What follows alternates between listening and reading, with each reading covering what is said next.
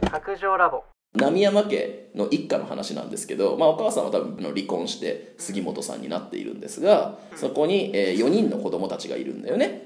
で長女次女長男次男といるんだけどその次男一番末っ子の冬男が死んでしまうというところから始まるんですよね。事故で亡くなると。でそれをきっかけに家族がもう一度集まってくる。この一家はそのお母さんが、まあ、どうもその不定を働いてこの母の貞子と死んでしまった末っ子の冬男が、えー暮らしてるんだけどそれで冬男が亡くなってお母さんが、えー別れたお父さんとかその残りの子供たちに電話で連絡をして愛憎にまみれた家族が 再び集まる。という話。まあそんなお話です。初めに冬男がえー棺に収まっててもう死んでるところから始まるんだよね、はい。その包帯に埋もれた顔に、まあ、父親の声が重なって今から16年前の景色が出てくるということでね。その断崖絶壁でね父親が海をバックに写真を家族写真を撮ってるって結構すごいことがあって。スリリング。スリリング。いきなりなんかね家族をどうも並ばせて断崖絶壁を背にしてでもういもう一歩下がれもう一歩下がれとか言うんですよね。映んねえから。映んない。海をバックに入れたいからもうちょっと下がってもうちょっと下がって父親が下がればいいと思うんだから。怖すぎるんだけど。とにかくねどんどん家族を下がらせるんですよ海の方に向かって断崖絶壁に立つ。まあそうる。そうそうで泣き出しちゃうんですよね。一番下の末っ子の冬男が泣き出しちゃうんだけどでお母さんもねもうあんたたくさん取ったからもういいでしょとか言ってもうやめてよとか言うんだけどはい笑ってはいチーズとかお父さんが言うんですよね。この親父結構壊れてんなっていう感じがもういきなりするんですよね。怖すぎる。そう。で現代になりまして夏なんですね。季節はね。で、えーここで母親のその貞子というのが、まあ、電話をしてると、ね、その次女の瑠璃かな？に電話してでその時の貞子の格好がよそ行きの真っ赤な服おかしいよ。そうそう。真っ赤な血のように真っ赤な服を着ているらしいんですね。お母さんはお母さんでね。どうした？どうした？どうした？どうした？って感じでメイクもでまあメイクもしてるメイクもする化粧もしてねバッチリでまあ次女のルリに電話すると、えー末っ子の冬男の死を伝えるためにルリに電話したんだけれども、うまくそのメッセージが残せなくて留守電に、切った直後になんか鼻歌をいきなりふんふんふんふん歌いながらあのこの死んだ冬男の服にアイロンとかかけてるんですよね、怖いよ、うんちょっとお母さんも気が触れた感じは出てるんですよね怖いんですけど服にアイロンってことでしょ。そうアイロンかけてる。しかもバッチリ化粧して真っ赤なよそ行きのドレスを着てね どういうことって思うんだけれども。そう。そしたらね電話が鳴るんですよね。リリリリンって。要するにこう今電話したから折り返してきたのかなと思って取るんですけど、そしたらなんだこれが無言電話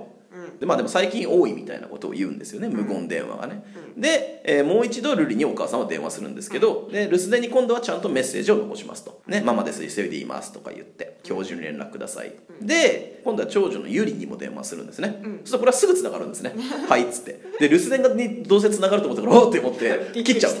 そう。動揺した。そうバーッと思って。で留守電が出ると思ったのとか言って切っちゃうんだけど、まあ、当然すぐ折り返してきてでまあどうもこの会話からこの長女のゆりは小説家らしいんですが、まあ、全然書いてないみたいな。でそんな話をしてあんたちゃんと食ってんの？みたいな。世間話のついで？みたいな感じでそういえば不要死んだのよみたいなことを言うんですよね。それがそのために電話したはずなんだけれども。ついでのようにって書いてあるもん書いてある。ねと書に。で今朝ビルから落ちたのというようなことを言うんですね。それで、えーその連絡を受けてすぐ長女のゆりが母の家に来ますわね。でどうもその末っ子の死んだ不要は建築現場で働いてたみたいなことなんですかね。で足場の鉄骨から落ちて死んだというようなことが語られるんですね。でと残ったその父と長男である冬木にはまだ知らせてないっつうんですよね。その長女のゆりがねいやパパと冬木には早く知らせなきゃダメでしょとか言ってそねそしたらまあお母さんがねなんか私があの人に会えるわけないじゃないみたいなことをなんか言うんですよね。母の貞子と父の隆かな？隆は、まあ、12年前に離婚したってことが分かるんですね。でさっきのあの写真撮った4年後、えーその父と冬木長男には12年も会ってないのよというようなことを言うんですね。離婚以来会ってないってことなんですね、まあだから多分その末っ子の冬男を貞子が引き取ってその2人でどうも暮らしてたらしいんですよね。今日までね、それでどういう状況で死んだかというようなことになるんですけど、その朝ビルの6階から落ちたと。その建設現場の多分ね足場から。で落ちてもうダメだってなった時に仲間から連絡があってまだ生きてるけどもうダメみたいですっていう連絡があった時、貞子が何をしたかというと念入りに化粧してお気に入りの赤い服を着たらしいんですよね。なんで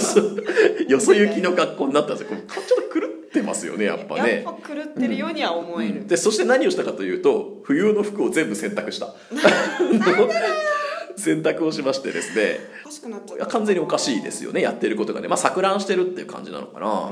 でまあ長女のゆりがその長男の冬樹にまあ電話しまして、ほう。まあ、お父さんとパパと一緒に来てねっていうようなことでね死んじゃったのよっつってさすが長女。で冷房が効きすぎてて寒いと部屋がゆりは。貞子の部屋が。貞子の部屋が。で寒くないって言うんだけど、そしたらお母さんがこの死体にドライアイスを冷たくないのよって言うんだよね。つまりその不要の死体にドライアイスを当てたくないんだと言うんだよね、うん。だから部屋をキンキンに冷やしてるんですよ、っていうことでまあそれは母心としてまあ冷房をガンガンに焚いて夏だから腐っちゃうかもしれないから、まあ、死体はそのドライアイスを当てないと。でもまあちょっと寒くてまあ。さすがに。で耐えきれなくて窓を開けるとガッとでそうすると洗濯物干し始めるんですよね今度お母さんは、うん。あのさっき洗濯した服を。あそうだそうだ。そうだそうだそう。ほあのそういえばまだね洗濯機の中に入ってたわって言って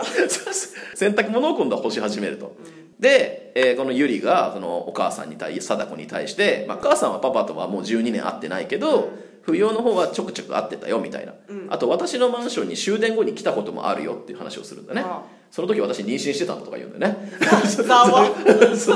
結構結構ねあの乱れた家族なね。常にいろんな問題を抱えているんだろうね、で私の様子見てあの子食べ物買いに行ったんだけどレモン10個買ってきたって言うんですよね。だからそれはつわりが厳しすぎる酸っぱいものがいいみたいな。優しい。うん、だからあの子は勘がいい子だったみたいな。別に言ってなかったんだけど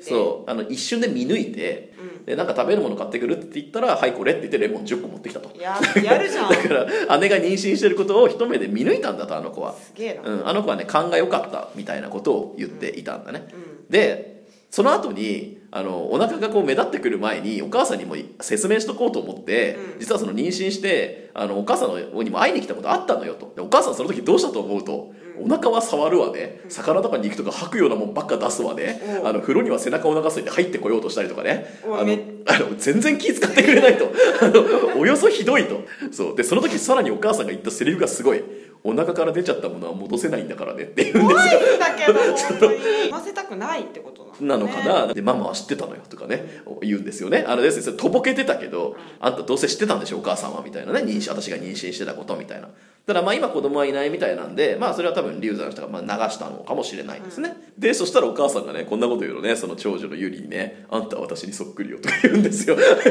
怖い怖い何がしたいの？あんたと冬はねママに似たのよとか言うんですよねそしたらね今度はまた無言電話かかってくるんですよね。なんか電話の向こうから赤ん坊の鳴き声が聞こえるとか言うんですよね。そしたらなんかその長女のゆりは「ママ誰かに恨まれるようなことしてない」とか言ったらお母さんは「もうしてないわ」とか言うんで。過去相当してたんだろうって。してるじゃん。もうもうそういうことはねとか言うんだよね。過去には相当してたんだろうなって感じでこのさ、うん寂しく微笑んで。そう寂しく微笑んで もうそういうこと。は過去に相当やったんだなっていう感じがするんですけど、うん、そしたらですね遺影になる写真が必要だからっていうことで、まあ、ゆりはその冬用の部屋に行くんですよね、でその間、えー貞子は何をするか。冬冬用の爪を切るんですよ。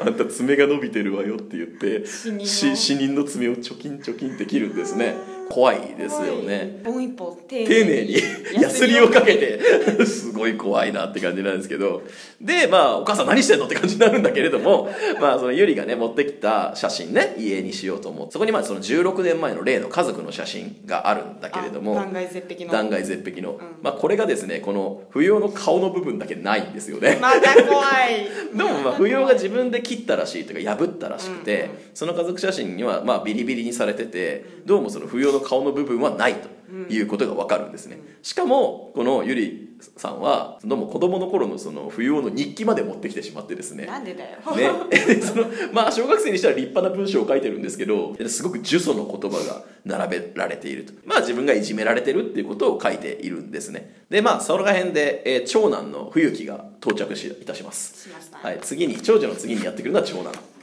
そしたらね父親にそっ歩き方がそっくりになったとかお母さんが言うんですけどだからこれ12年ぶりに会うってことなんですよね家を出てね、でそしたらですねこの冬樹は母ちゃんにめっちゃきつい。あの当たりがおね前とか言うんですよねお母さんにね。でこんなこと言うその死体を見ていつかこうなると思ってたよみたいなこと。であんたが不要と家を出て行った時からとかですね冬を殺したのはあんただよとかね。おめえみたいな女がな男を特会引っかいにしてなんか家をめちゃくちゃにしたんだみたいなことを言うからどうもお母さんはそういう不貞を働いて離婚したらしいですね。でゆりはですねその間不要の日記を読んでいるんですけれども黙々とその二人の争いにはここで背を向けて、でまあそこでまあそういうやり取りで分かってくることはどうもその母はそのキャバレーで働いてたっつうんですよね、うん。まあ水商売のお仕事をなさってたっていうことなんですかね、家庭は完全にその家事は崩壊してて洗濯物で家は溢れてて鳥の巣だったみたいだったとか言うんだよね、ね。うん、でそういうのからあの不要の日記を読んでなんとなくその時の状況が分かってくる子供たちのね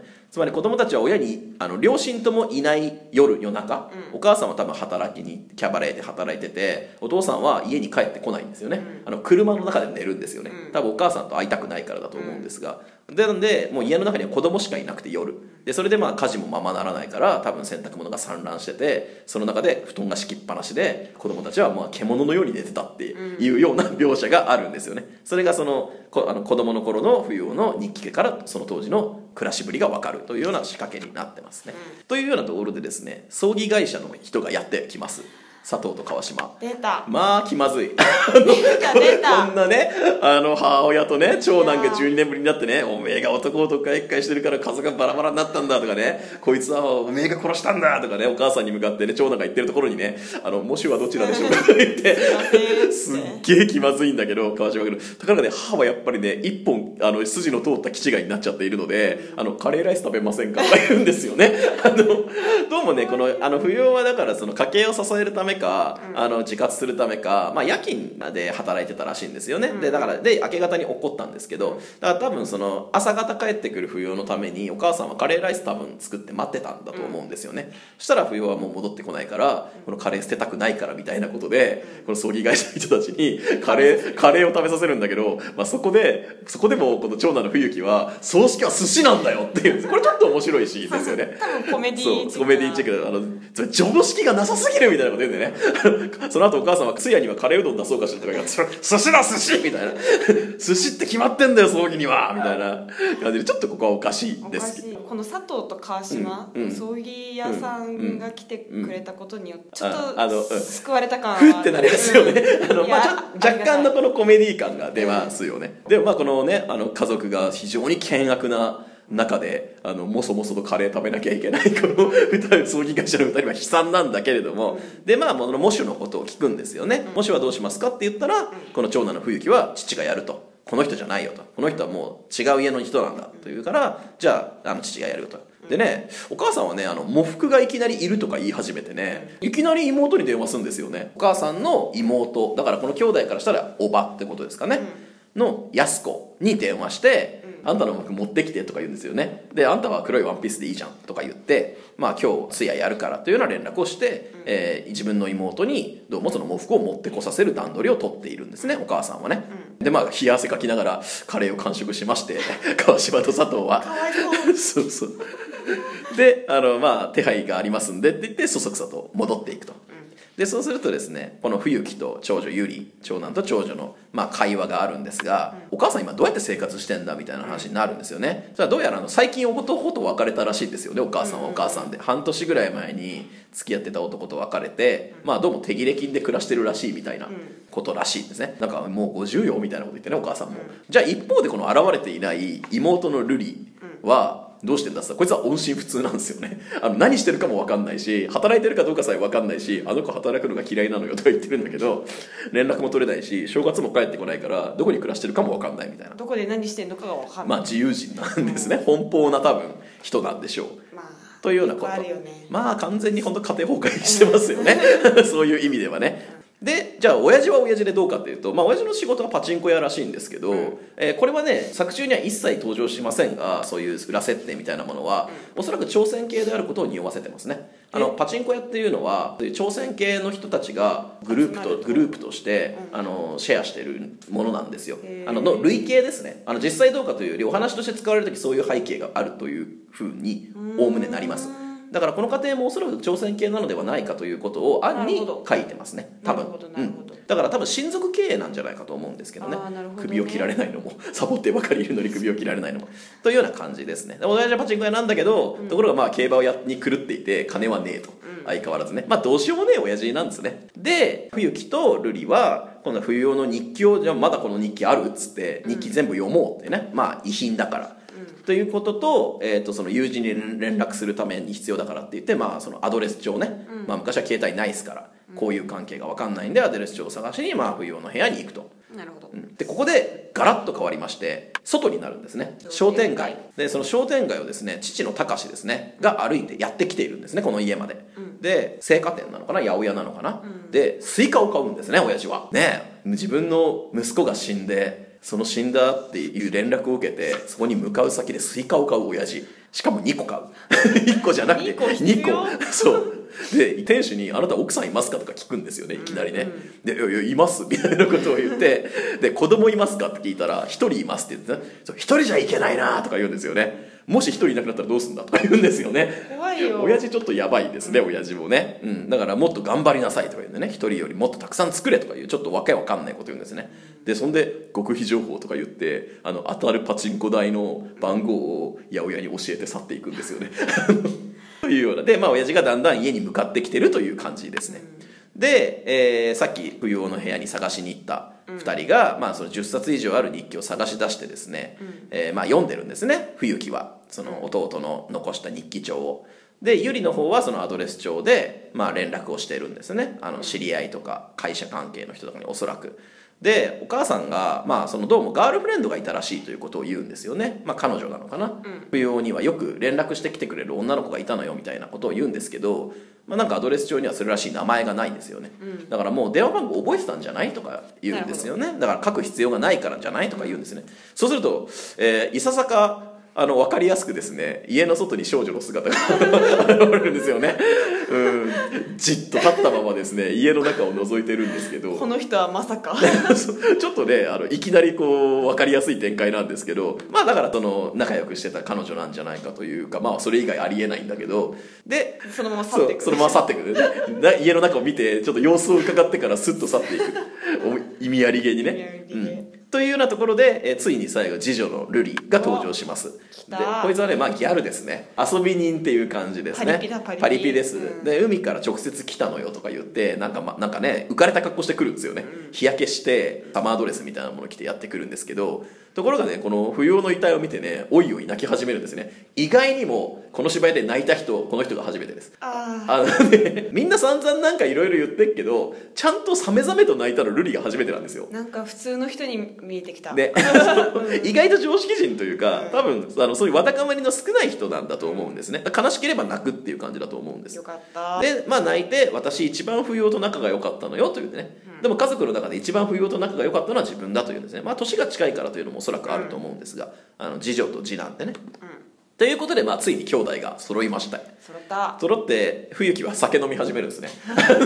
酒ないで昔はカルピスが好きだったんだけど今はもう酒をグイグイいってですね。という感じでまあ成長を感じるやつ。成長を感じる。まあだけどねお葬式とかってまあね酒飲んだり寿司食ったりっていうもんですからね、でまあ冬木はまあ長男らしく酒を飲み始めるんですがここでねゆりと瑠璃はまあ喧嘩し始めちゃうんですね。姉妹の方は、過去の話をしてるんだけどまあお母さんのことやっぱり瑠璃もあんまよく思ってないんですよね、うん、でも私覚えてるわとか言ってなんか日曜にお父さんがパチンコに行った後に、まあ、どうもその不倫相手との連絡係をやらされてたらしいんですね。なるほど。ルリはね、なんかちょっと表にいるサングラスのおじさんにあと30分で行きますって言っといてとかいう 不倫のつかね片棒を担がされてたみたいなことをやらやらされててやっぱ私あんな人信じられないとか言うんだけれどもそしたらこのお姉ちゃんの方は意外とお母さんの肩を持ってですね、あんたも大人になれば分かるわよとか言うんですよね。そしたら子供扱いされてですね私は子供なのとか言ってこのルリが怒ってまあ2人は喧嘩し始める。で何男と一緒に海行ったぐらいで大人になったかような顔すんじゃないわよとかお姉ちゃんに言われてですね。姉妹の喧嘩が始まるんですね。でまあこれも深読みなんですけどお母さんがこうやって不倫みたいなことをし大っぴらにしてて、でお姉ちゃんがあんたも大人になれば分かるわとか言ってそれを意外に擁護するのは、さっき妊娠してたという話も出たので多分ねお姉ちゃんも同じようなことしてるんですね。はあ。あの今今相手がいるかどうかは別なんだけどなるほど。そう別にね結婚もしてないじゃないですかお姉ちゃん、だけど妊娠はしたっていう話してるじゃないですか、多分ねお姉ちゃんもお母さんに似てるわって言われた時にカッパされてるんですね。なるほど。つまり多分同じようなことをしてるんですね、姉もね。ってことはなんとなく分かりますね、うんうん。そうだね。でっていうような喧嘩をしてると兄貴が「よせ狂ってんのか」って言うんですよね。狂ってますみんな。冬冬男が死んだ日に死者の前で喧嘩するんじゃねえとか言ってね。二人とも最低だって言うんですよね。本当最低ですよこいつら。ね。ね。で冬木はその冬男の残した日記を読むんですよね、でなんかね冬は結構文才があるんですよね。ね。これユーミニ文体だと思うんですけど。ね。まあ、小説みたいな文章を書いててなんかね女と寝たみたいなことが書いてあってなんか電気を消してって言ったけど俺は消さなかったみたいなね。なんか暗闇にすると見えたくないものが見えるからとかなんか素敵な小説みたいな、あの日記をね最後の日記は書いているんだけれども。でまあどうもそれが最後の文章だった。直前のね死ぬ直前のっていうんだけどでもまあノートにはどうも引きちぎった跡があるというのも分かるんですね。だから最後の文章本当は読まれなくなたくなかったことがそこには書いてあったんじゃないかというようなことが暗示されるんですね。でその今その女と寝たみたいな文章を読んで長男の冬木がぼそりと冬を童貞じゃなかったんだって言うんですよね。そう。でえそしたらその姉妹はね「え今時19歳なんてまあそんな普通じゃない?」みたいな「彼女ぐらいいるよ」みたいなこと言ったらピンときてしまってですねこの瑠璃の方が「もしかしてお兄ちゃん童貞じゃない?」って言うんですねそうするとね兄貴がねグーって音を出すらしいこれグーって音を出さすってちょっとおかしいんですけどどうもね図星らしいんですね。どうも兄貴はねあの女性経験がないらしいということが分かるんですね。だけどねそれがあの長女のゆりもねまたこうそれに追い打ちをかけるようにね「バカ言うんじゃないわよ」みたいな「26よ」みたいな「26で童貞だったら異常よ」とか言う。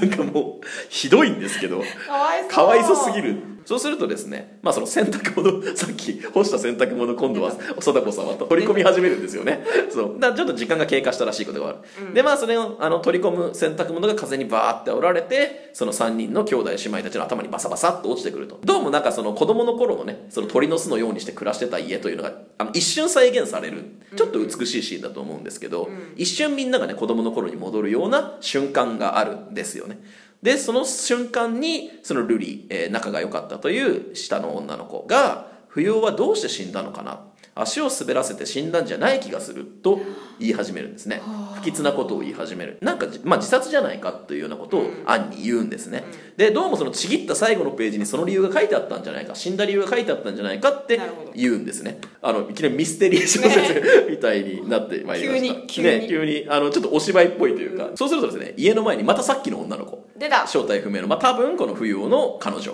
の少女が出てくるんですけど「あらあの子だわ」って言って、えーこのお母さんの貞子が声をかけようと思って玄関まで行くと、親父がいるんですよね。そう。しかも2つスイカを持って。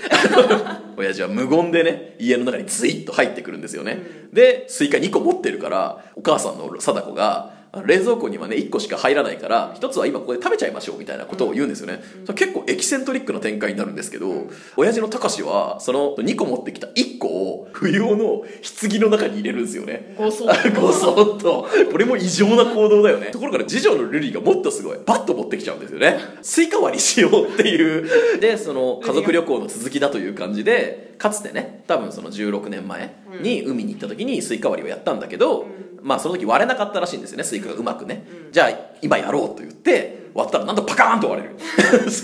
これ怖いよねちょっと。バーンと頭が割れるように割れるみたいなこと書いてあるんですよね。これがねこの芝居のまあ言ってみれば一番いいとこですね。人間の頭が割れるようにスイカが割れるってこのト書きね。ストレートすぎるこのト書き本当に怖い。でその割ったスイカ食べるんですよそれみんなでね。みんなで。これも怖いよね。怖い。そうするとねこの種飛ばしね父親の隆史がプッて飛ばすと、まあ、みんながそれを真似てプッププップ飛ばすんだけど、まあ、結局その父親の隆が一番遠くまで飛ぶんですよねそうすると親父がね満足そうにねやっぱり父さんが一番だなとか言うんですよねねでまあ親父はその電話をしに行くんですよねあのいろいろ連絡することがあるからといって、まあ、会社にまず電話するのかな、まあ、休みをもらうんだよねでそうするとまあもちろんその会社の人たちも葬式に参列するということになるので家までの道順を説明しようとするんだけどこのお母さんの住んでる家までの、ところがまあそれがうまく説明できないと、あれあれってなっちゃうそうするとちょっと家内に変わりますって言ってあの思わず家内って呼んじゃう。貞子をね。しまったって感じなんだけど親父にしてみたらお母さんは「はいはい」っていう感じでねよいより道順伝えちゃうんですよね。なんかすんなりと自分がなんか奥さんに戻っちゃうみたいな感じ妻に戻っちゃうみたいな感じなんですけどそうすると高志が、まあ、電話が終わってまた変なこと言うんですよね、猫の鳴き声がする。冬用の棺の中から。とか言い始めるんですよ。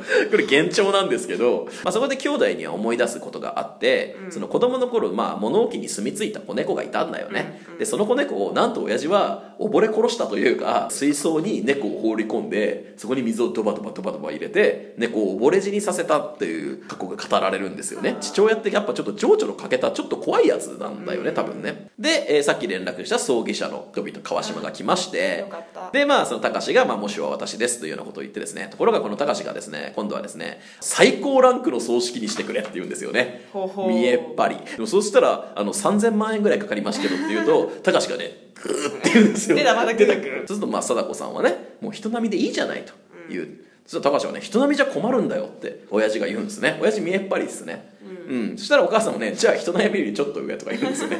お母さんは割とだあの妥当なところをついてくるんですけど。で、えー、とか言ってる間に貞子の妹の、まあ、つまりおばの兄弟からしたらおばの安子が登場と。でその喪服に着替えさせてあげるってことですね貞子をね、この安子後で言うんだけどセリフ一個もないんです。やっぱり、ねとがきでしか処理されないの。これはさ貞子のさ妹なんだからいくらでも広がりそうじゃん話、つまり子供の頃の話とかになりそうだよね、姉妹の。でもねそういう風には持っていかないんですね。多分こっちの家庭の方にだけクローズアップしたかったからだと話がブレるから。でもじゃあ別に安子出す必要ないと思うんだけどその辺がちょっと変なところ確、うん、バランス欠くかなというところではある。でまあ葬儀の準備がなんだかんだで整いましてまあ通夜ですね、通夜の準備ができた部屋の中にね、はい。でまあ他の親類も集まってくるんですね、このまあ貞子の今度はお兄さんだとか、えーこの高志のお母さんまあそのおばあちゃんですね、あの兄弟からしたらなんかもやってくると、でまあお酒飲んでね通夜なんで個人の思い出を語るにつれてですね、えーこんなこと書いてあるんですね。親戚たちの悲しみの仮面が剥がれ始めるって 続きが書いてあるんですけどまあ嫌な感じのね多分感じになっていくんですね、まああけすけなそしたらこのおばあさん。まあ要するにその貞子さんからしたらお姑さんの義理のお母さんの春子がですねでこの兄弟の誰が腹違いだったんだっけ？とか言い始めるんですね。いやいやいやお母さん全部私の子ですよと。お母さんやめてください。全員な私が産んだんですよ。とか言うといやー誰かは腹違いだったと思うけどなとかね。何言ってんの？あの どうもあの嫌いらしいんですね。お母さんはこの元奥さんがね、で一方でこの貞子さんのお兄さんの方ね、さっきのおばさんじゃなくて、えおじさんの方ね、はですね冬木に対してねあのおじさんはねサラ金やってるからねお金に困ったらおいでとか言い始める。周りも怖いわ。最悪だわっていうね感じなんです。でまあこれも実を言うと多分大陸系だということを示してると思います。サラ金パチンコこれはね大陸系の方々が親族経営することで代表的なあの職業。なんですね、まあ、ってことは暗に示してるんだと思いますね。そしたらねこのぐでんぐでんに酔った冬木がねそりゃいいとか言いながらねあの大声でねこの親父の高橋と歌歌っちゃったりするんですよね。子供の頃の歌とか。まあ迷惑なやつらって感じでねガーガーガーガー歌酔っ払い歌歌って、で一方でさっきのおばあさんのね、あのまあ姑さんの義理のお母さんである春子さんは「あそっかあの種が違うんだ」とか言い始めて「話違いじゃなくて男が違ったね」とか言い始めてなんかもうねひどいんですよね。やめてあの子はこんなところでやめて。あの子は父親が違うわねとか言い始めるというね、まあ、はっきり言って最低の艶ですね。そう。いう家族同士の悲しみの仮面が剥がれたあの最低の艶が終わる。それでその日の夜ねみんなが寝静寝静まる。その夜貞子と、まあ、高志が二人きりになりまして、夫婦の会話をすると、で子供が生まれた時の話をするんですね、で長女のゆりが生まれた時はもうあなた大喜びだったと、で私にありがとうと言ったと床屋さんに行って散髪してきて き、まあ、キリッとした姿できっとね清掃してきたってことなんだと思うんですけどでありがとうありがとうって泣きながら言ったと。一人目はね。1人目。で2人目の長男冬樹の時も「わあ長男だやった!」っつって「男だ!」って言ってもう夜中なのに大喜びで病院で大騒ぎしたので叱られたと、ところがそのち次女瑠璃の時には全然来ない。入院中は全然来なくてただ退院の時に車で迎えに来ただけだったっていうんですねでさらに最後、えー不要の時は迎えにも来ねえ。病院にも来なければ迎えにさえ来なかったから一人でタクシーで抱いて帰ったっていうんですね。でそれがすごく惨めだったというふうに貞子が言うんですね、でもしもなんだけどもしも私が家に帰ってまたあなたともう一度やり直すとしたらあなたは今度はあの食器を洗ってる時私を監視しないでねとか言うんですね。親父の DV が明らかになっていくんですね。ここで。要するに。そう精神的 DV をしてるんですね。食器を自分が洗うのでもなく洗ってる母を監視してるんですよね。手伝うでもなく。手伝うでもなく。かつてそういうことをしてたらしい。しかも洗濯物でもね干す時にもっと叩けとか言ってね。もっとちゃんと叩けばねアイロンはいらないんだとか言ってね。あとどうもお母さんと風呂に入ってたとか言うんですよね、うん、マザコンなんですかね。さっきの春子さんだと思うんですけど、あと給料全部競馬に使わないでねとか言うんですよね。そしたらあークソ野郎じゃん。そうあ3分の1だけ渡すとか言うんだけど。いやいやそれじゃダメみたいなこと言うんだけど。でやっぱり毎晩車の中で眠るとか言う。ね、いやまあ眠らないよとか約束するよみたいなことを言うとでそしたら道に捨ててある粗大ゴミ拾うとか言うんですよね。親父はね道に捨ててある粗大ゴミバンバン拾ってきちゃう人らしいんですよね。で親父のポリシーとして使えるものは拾うとか言うんですよね。でもうやめてって言うんだけどいや使えるものは拾うからって言うとお母さんは諦めちゃってそうすればいいわって言うんだよね。どうもこれであのもうこの家族が元に戻る方向はなくなったような感じというかお母さんはつまりあの全く変わってない父親に呆れたっていう感じなんでしょうね。で今度は同時刻というかその姉妹の今度は語らい描写ですね。あのさっきとユリとルリが姉妹が寝ていると。そうするとまあさっきねあのルリはこう日焼けしてやってきたから海から直接来たから、まあその皮むいちゃダメって言ってお姉ちゃんの長女のユリがヘチマ水っつうんですか、あの塗ってあげるんですよね。日焼けの肌にね。なんか昔っぽいね。昔っぽいよね。ヘチマ水ですか、うん。シーブリーズ的なやつ、よくわかんないけれども。ところでで誰と言ってたのと？海っていうとヒントはお姉ちゃんが昔付き合ってた人っていうんですよね。でお姉ちゃんの元彼とルリは付き合ってるらしくてでなんか入江幸雄だっけかな？どうもねお姉ちゃんが17歳の時今から10年前。だからお姉ちゃん27なんですね。17歳の時にお姉ちゃんが付き合ってた入江幸雄と今、えー妹のゆりは付き合っているらしいですね、割と最近からっていうことらしいんですけどお姉ちゃんそれ初恋だったんじゃないのとか言うんだけど違うわとか言うんだけどまあ多分初恋だったんでしょう。多分ね。多分大事にしてた心の中でも大事にしてるあの甘酸っぱい思い出というか、初恋の思い出なんですね。ここからなんか地獄がまだ見えますが、であんた太ったんじゃないとか言ってお姉ちゃんがもしかしてって言うと実は、えールリは妊娠4ヶ月だということが分かるんですよね。あでお姉ちゃんが「お腹から出ちゃったものは戻せないんだからね」ってお母さんにかつて自分が言われたセリフを妹にも言うと、そしたらこのまたルリはルリで恐ろしいことを言うんですよね、男の子だったら冬を女の子だったらお姉ちゃんの名前つけてあげようかとか言うんですよね。あちょっと多分まあまあ優越感あるんでしょうね。お姉ちゃんが初恋で終わった相手を自分はもう付き合って妊娠までしたというようなことに、多分優越感を感じているのじゃないかという感じで、ドロドロしますね、ドロドロですな、うん。でお姉ちゃんの名前つけてあげようかとか言うからやめてとか言ってここが一番ドロドロして怖いんですよね、そう。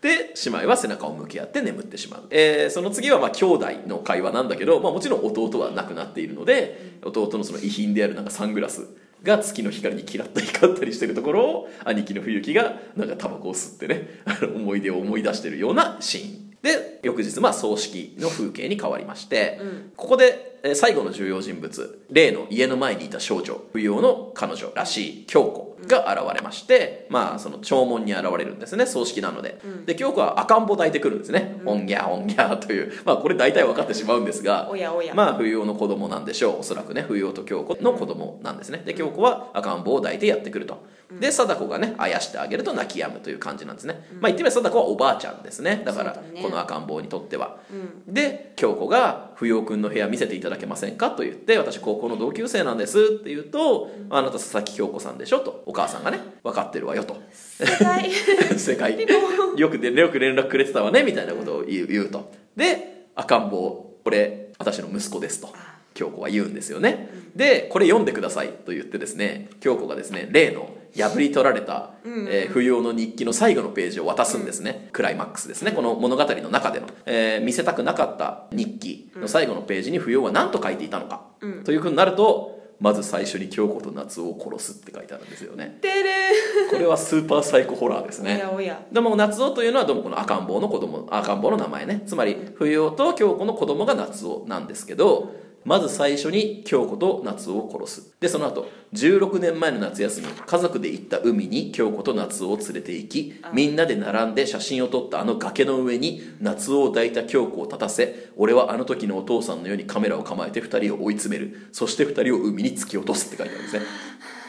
何を考えたか自分の、まあ、奥さんというか、まあ、籍は入れてないんだと思うんだけれども、自分の子供を産んだ女性と自分の子供を、えー海に突き落とす殺人計画だったんですね、そこに書かれていたのは。さらにそれだけではない。お母さんお父さんゆり姉さん兄さん瑠璃姉さん俺。もう一度食卓を囲んで食事し終わった後俺はみんなを一緒に殺してやるなんでだよ。つまり自分の家族全員を殺す計画を実は立てたっていうことなんですよね、冬王はね、でみんなが一緒に死ぬにはまあ毒がいいと。で俺は毒を手に入れたって手に入れたらしいんですね。なるほど。でみんなに乾杯をさせてその中に毒を入れたら一気にみんな死ぬぞと、ね、再会を祝して乾杯した後にみんな死ぬなんていいじゃんみたいな こと書いてあるんですよね。ただ問題はねどうしたらみんなを家に集めることができるからと、お母さんが怪我したら集められるかな。ちょっと怖いよねこれもね。だからお母さん怪我させることはこいつにとってはあんまり大したことはないのかもしれないですね、だからお母さんを怪我したらみんなが集まるかと思ったけどいやそれは来ないなと、怪我したぐらいじゃあいつらは来ないなと、じゃあどうするかなみたいなところで終わってるんですよね。どうしたらみんなを俺は家に集められるんだってところで終わってるんですねこれ後で話します。このことについては。はい、つまり恐るべき殺人計画が書け書かれてたんだね。で実はこの京子が昨日ね何度もこう様子を見に訪ねてきてたのは不要がみんなを殺してしまうんじゃないかとこれを読んでたから、と思って心配で見に来てたんですよね、そしたらマジで家族が次々次々家に集まってくるから どどうなってんだこれと思ってびっくりしちゃって心配してたんだよね。計画通りじゃ計画通りじゃん。え集まってきてるなんでってなったんだけど、まあ、実はそれは死んだのが不要だと分かったから、で分かってほっとしたっつうんですね京子はね。あの連続殺人にならなくて大量殺人じゃなくてその大量殺人を企ててた不要が死んだんだってことが分かってある意味ほっとしたということですね。で長女のゆりはその話を聞いて、まあ、愕然とするんだけどこの日記はまあ人に見られないようにということでその棺に入れて燃やしちゃおうっていうことにするんですね。で親父の隆史が赤ん坊をえーあーあーんってあやしてるんだけどこの子の名前なんていうのって言ったら夏男ですって言うんですよね。季節の夏にね冬用の方を取って夏男。まあ親父からしたら孫ですよね、ああそうなんだ。みたいな感じになる。親父ぼんやりみたいなでまああとはそう粛々とね、えー出棺のシーンになってで冬木はさっきのね結局顔がないスナップなんだけど、あの海での写真顔のない冬用の写っているスナップを入れてやると、で、えー葬儀屋がこれでお別れですって言って蓋を閉めるんだけどその時貞子はなんだか笑ってるみたいねとか言うのね。本当かって思うんだけど。なんかいいシーンにしようとしようとしてるるっていう感じ。うん。で出棺してでまあ焼かれるんですね冬はね、はい。でお母さんは貞子はこんなこと言うんですねなんかさっき夢見たのと。寝てみる夢じゃなくてまあ多分白チュームのような夢だと思うんですが、7歳の冬がやってきたと。ほでも冬はね何も言ってくれなかったの私にみたいなことを言うんだね。なんかいい感じにしようとしてるんですね この話ね。でまあそれを聞いて、まあ、何も言わずに登っていく煙を見る家族と。で骨が収められた骨壺を抱えてみんなで家族で歩いてると、そしたら冬木は生まれた時何グラムだったみたいな3000グラムだったとかね、子供たちが何グラムで生まれたみたいな話をして、であの女の子の赤ん坊さっきの京子ね冬男の息子なんだけど、は何グ何グラムかなとかお母さんルイかな？が言うんですよね。そうするとねこの親父の高志がね一人減って一人増えたのかって言うんですよね。そしたらルリがもう一人増えるわよって言うんだよね。自分のお腹の中にも子供がいるからね。まあ結婚するのと。でママは気づいてたよみたいなことを言うんでね。このこのごたごたが終わったら喋ろうと思ってたのよみたいなことを言うと。そしたら親父が一人減って二人増えたのかと。感情が感情が増えたという感じを言うんですね、そしたらまあ写真撮りたいなと言い始めるんですね。お父さんがね。親父が例によって、うん。今のこの姿を写真に撮ろうと言うんですね。みんないるから家族が。でそしたらルリが「昨日海行ったから私持ってるわよ」と「海で写真撮ったのよ」って言って高志がねこうかつてのように背の大きい順に並んで とか言うんですね。そしたらそこでまあ冒頭のシーンにつながって海を背景に入れたいからって冒頭のシーンになるんですね、でみんなもう少し下がってって言って「おっこっちゃおっこっちゃ怖いよやめて! 」っていう冒頭の悪夢のようなシーンがもう一度繰り返されてそしてお母さんにねくっついてるから一番下の冬男は「でお前はルリの隣だろ背の順だ!」って言って お母さんと引き剥がすんですね、でそれでみんな揃ってその崖の上に並ばされて「はいみんな笑ってチーズ」って言ってカシャーって終わり。という悪夢で終わりましたね最後まで。恐ろしい